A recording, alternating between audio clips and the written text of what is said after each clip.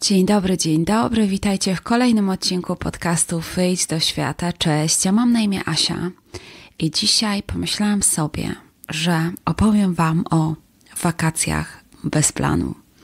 Jest maj, kiedy to nagrywam. Zbliżamy się do wakacyjnych wojaży i pomyślałam sobie, że to jest taki dobry pomysł, dobry moment, żeby zainspirować Was do tego, żeby odpuścić trochę planowanie. I mm, oczywiście, jak to u mnie była inspiracja do nagrania tego odcinka podcastu, i tą inspiracją było to, że w kwietniu organizowałam kobiece wakacje na Mauritiusie i był to wyjazd rzeczywiście bez planu. To znaczy, wiecie, to nie było tak, że my tam jedziemy i generalnie y, każdy se robi mm, co chce i każdy jest sobie zostawiony i w ogóle bez sensu. Nie, to tak nie wyglądało. To wyglądało w ten sposób, że ja jako organizatorka organizowałam ten wyjazd. My tam pojechałyśmy i to, co mam na myśli mówiąc bez planu, oznacza bez sztywnego planu, bez napinki, bez kolonii, jak to powiedziała Basia, która była ze mną na tym wyjeździe, to nie ma być kolonia. I to nie była kolonia, bo głównym celem wyjazdu był kobiecy wyjazd na Mauritius. Kobieca podróż na Mauritius, kobiece wakacje na Mauritiusie. I tutaj była przestrzeń na to, żeby każdy zorganizował się tak, jak miał ochotę, czy każda zorganizowała się, jak miała ochotę, bo to był wyjazd kobiecy. I brak planu polegał na tym, że były opcjonalne rzeczy do robienia. I były osoby, pozdrawiam cię Basiu, które spędziły cały pobyt w hotelu, a były osoby, pozdrawiam cię Basiu, tylko teraz inna Basiu, które spędziły cały pobyt na wycieczkach.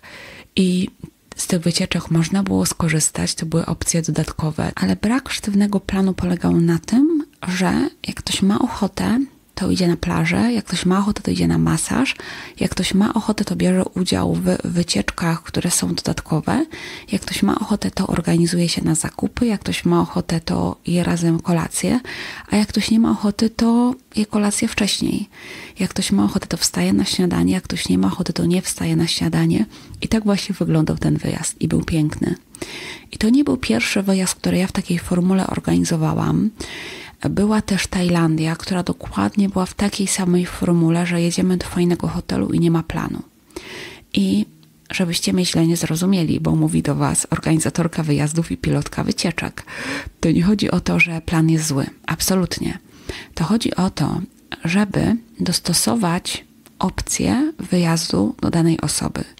I na wyjeździe, gdzie mm, jest brak planu, ale plan można zrobić i plan można zrobić ad hoc i pomysły są i są możliwości, to mm, jest to świetna opcja dla osób, które nie mają towarzystwa, a chcą je mieć i chcą pojechać w fajnym gronie i mm, chcą, żeby ktoś to też dla nich zorganizował, mówiąc wprost.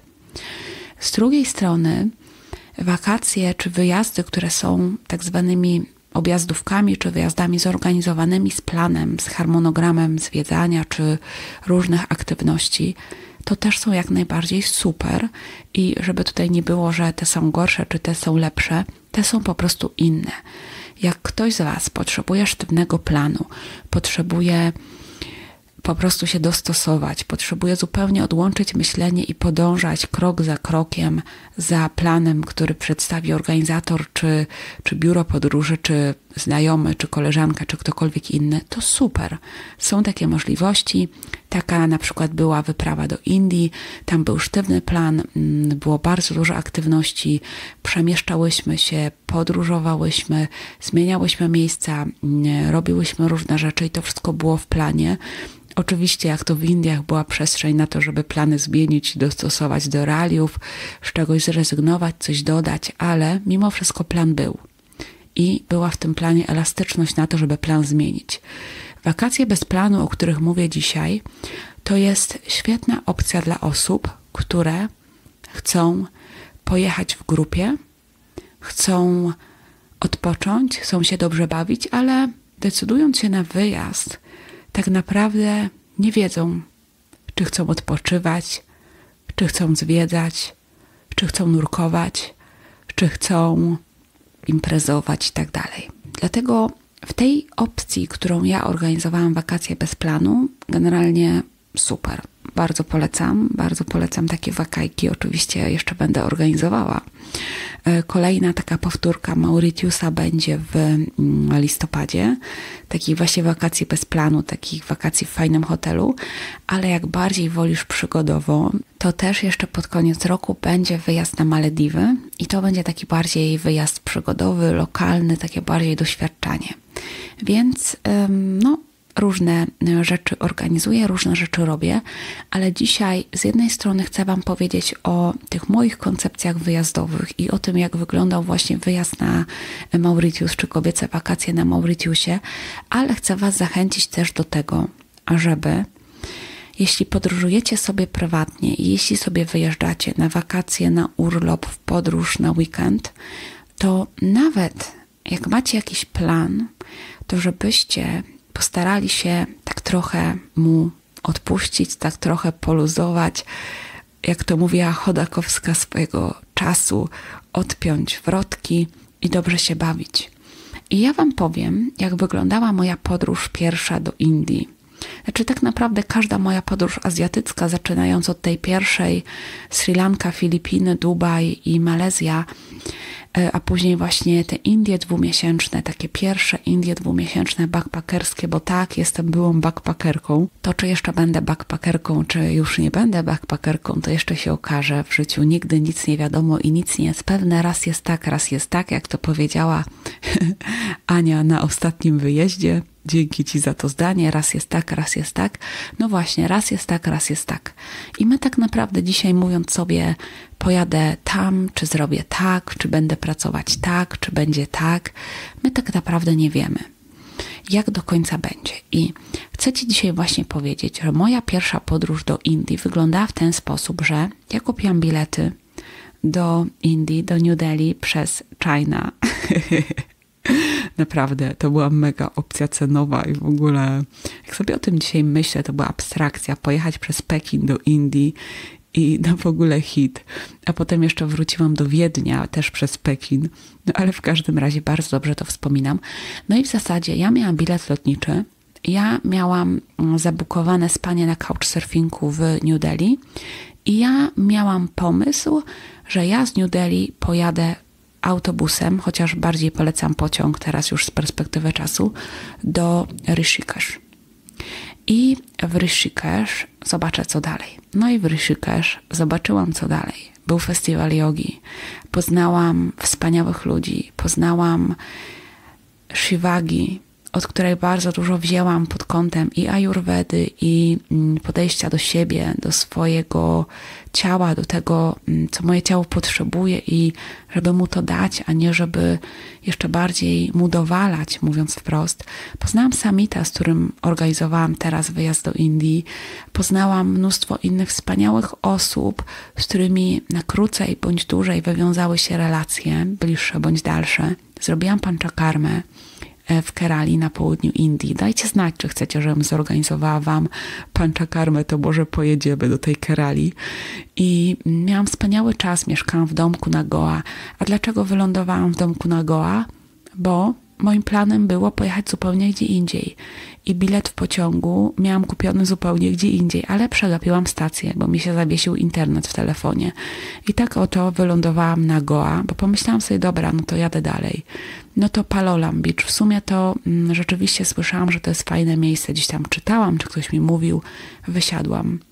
No i tak oto miałam podróżować po Goa. Zostałam na trzy tygodnie w domku na plaży na Goa Bawiłam się świetnie, ćwiczyłam jogę, jadłam śniadania z widokiem na ocean, pływałam w morzu, plażowałam, spotykałam się z ludźmi, jadłam lokalnie, poznałam fantastyczne osoby, poznałam dziewczynę z Kanady, nauczycielkę jogi i poznałam mnóstwo innych fantastycznych osób, które bardzo, bardzo ciepło wspominam i ten czas w ogóle mega wspominam jak myślę sobie o tej podróży, to ona nie mogłaby się wydarzyć w takiej formule, gdyby miała plan, gdyby była bardzo zorganizowana.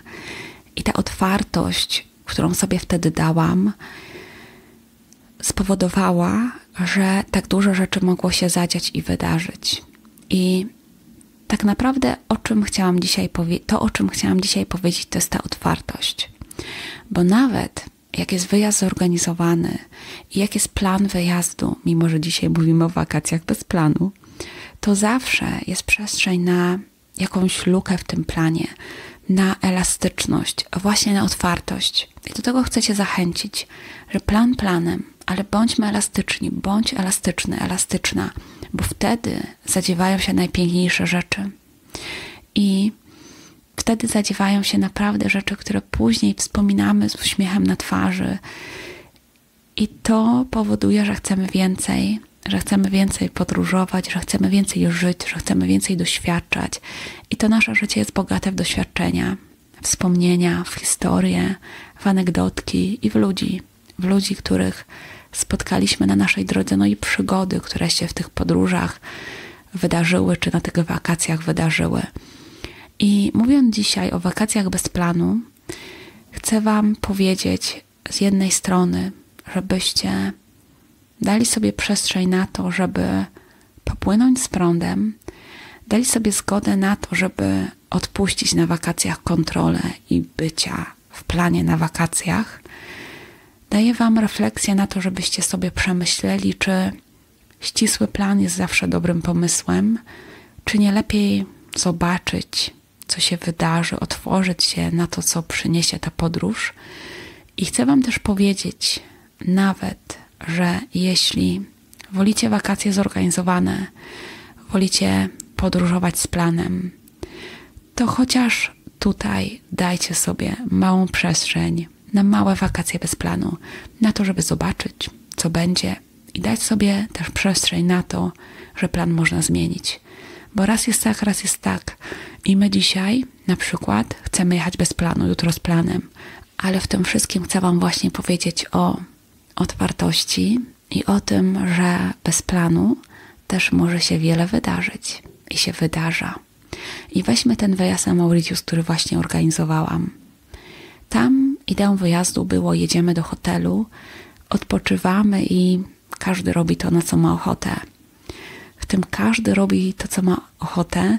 Było to, że ja na miejscu też zorganizowałam wycieczki, przedstawiłam wiele opcji, które można robić. Więc osoby, które chciały odpoczywać, odpoczywały na plaży. Osoby, które chciały iść na zakupy, szły na zakupy. Osoby, które chciały lecieć hydroplanem, poleciały hydroplanem. Osoby, które chciały snurkować i nurkować z delfinami, pływały z delfinami.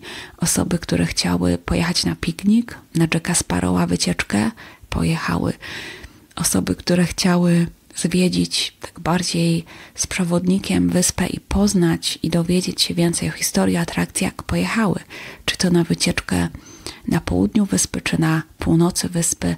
I było jeszcze mnóstwo innych rzeczy, które odbyły się dla chętnych i odbyły się dzięki temu, że nie było planu, a plan się tworzył na bieżąco i można było uczestniczyć w tych rzeczach albo nie uczestniczyć. I to był piękny czas, to był piękny wyjazd.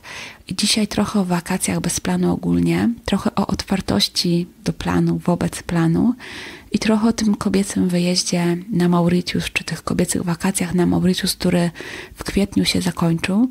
I trochę wspomnień, trochę jeszcze z mojej pierwszej podróży do Indii, którą mega wspominam i w ogóle, wiecie co?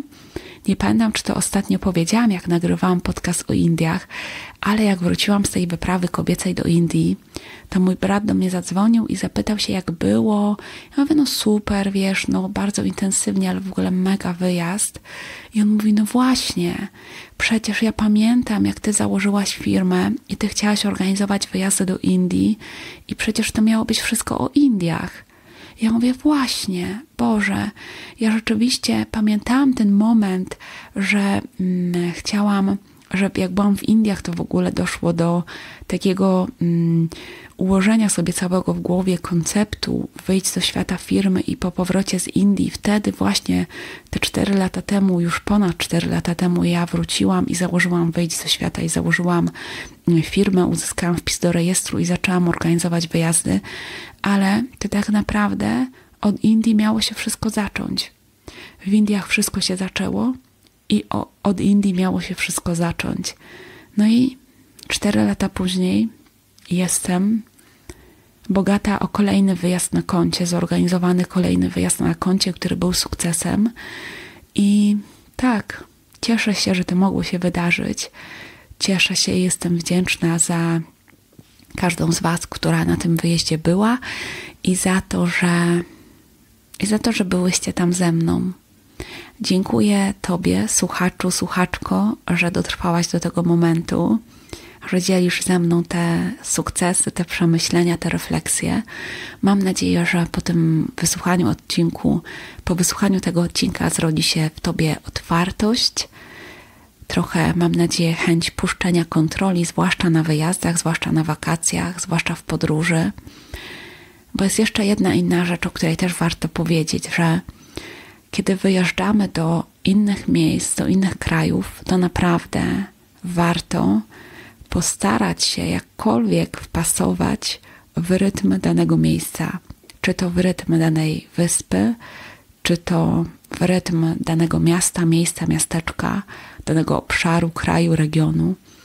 Bo patrząc z naszej polskiej perspektywy i patrząc z perspektywy zadaniowej, z perspektywy planu, z perspektywy kontroli, jesteśmy w stanie się bardzo często mocno sfrustrować.